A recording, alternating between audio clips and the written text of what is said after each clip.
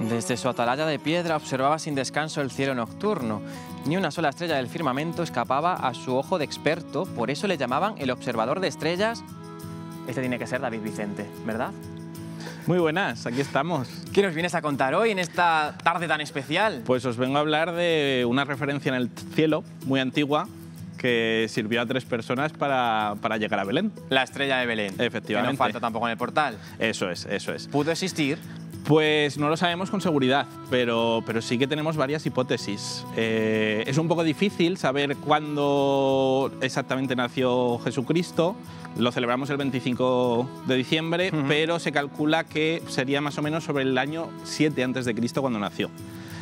Y claro, una referencia fija en el cielo no Claro, podía haber, no. porque la rotación de la Tierra hace que, que veamos las cosas que se mueven en el cielo. Entonces tenemos varias, Pero hay varias opciones. A ver, ¿cuál- cuál es una pues de mira, ellas? la primera sería un cometa. Un ¿no? cometa, Que es que hablamos de ellos hace poco. ¿sabes? eso es, eso es. Pues lo- los representamos generalmente esa estrella fugaz con forma de cometa.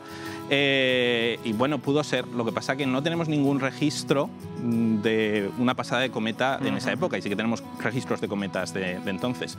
Lo más probable es que el artista Giotto di Bondone, Sí. eh, en el siglo XIV, al, principio, eh, pintó la, la adoración de los Reyes Magos y pintó esa estrella de Belén como un cometa. ha trascendido hasta nuestras fechas. Eso es, eso es. Otra Eh, opción, ¿cuál podría Otra ser? opción, pues mira, otra opción podría ser una supernova. Supernovas. Una supernova es una explosión, un evento muy brillante, una explosión de una estrella.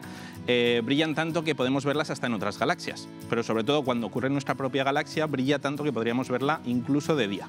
¿Y de aquí sí que hay registros en torno a estas fechas? Eh, en torno a estas, no. En el 1054 sí que hay un registro de los chinos de, de una estrella, de un- una supernova que brilló durante 23 días eh, a plena vista durante el día. Entonces eso hubiera sido una referencia muy posible de lo que podría haber sido, pero aunque es mi opción favorita... ¿Es tu opción favorita? Sí, sí, porque encaja muy bien, no algo de la nada que de repente aparece durante unos días, pero no tenemos tampoco ningún registro de la época que, que coincida. ¿Nos queda alguna otra opción? Sí, la más plausible, que sería una conjunción de planetas. Vale. Eh, en concreto Júpiter y Saturno. Una conjunción es cuando dos planetas pasan muy cerca uno de otro y en ocasiones pueden llegar a estar tan cerca que su brillo se sume y parezca un solo objeto. Entonces es posible que fuera algo por el estilo. Eh, Kepler en el 1600 ya fue capaz de calcular que en el año 7 a.C. hubo una conjunción triple, que durante tres momentos del año Júpiter y Saturno estuvieron muy cerquitas. Y eso sí que se puede hacer, ¿no? Lo de viajar al cielo del pasado. Eso es, podemos, podemos verlo. simularlo. Sí, sí, sí, con, con algunos programas podemos Sí, simularlo y veríamos cómo ese, ese momento podría haberse dado. Por lo tanto, esto sí que pudo, que pudo ocurrir. Sí, sí, sí. Aquí lo estamos Mira, viendo. Aquí lo tenemos. Poco a poco van pasando los días y Júpiter y Saturno se juntan mucho. Eso ocurrió a final de mayo del año 7 Mm, a.C.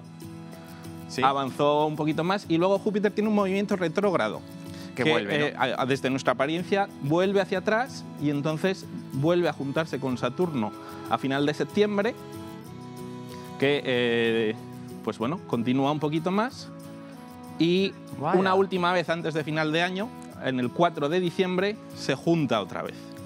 Entonces, pues no, no lo sabemos, pero es una opción bastante plausible Bastante, que, ese evento astronómico fuera lo que marcara. Que esa estrella de Belén fuese esa conjunción Eso es, planetaria. sí. Bueno, David, ¿tienes preparado el repertorio de villancicos para, Uy, para yo- esta tarde? Yo entono, esta muy, noche? yo entono muy mal. Sí, tranquilo, de- tranquilo, que no te voy a hacer cantar.